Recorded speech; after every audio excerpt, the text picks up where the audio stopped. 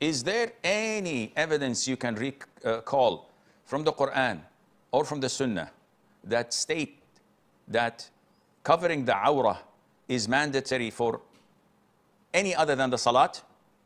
Yes or no? No, Sheikh. In this case, the default is whether you're butt naked or you have your three-piece suit on, you can perform wudu without any problem.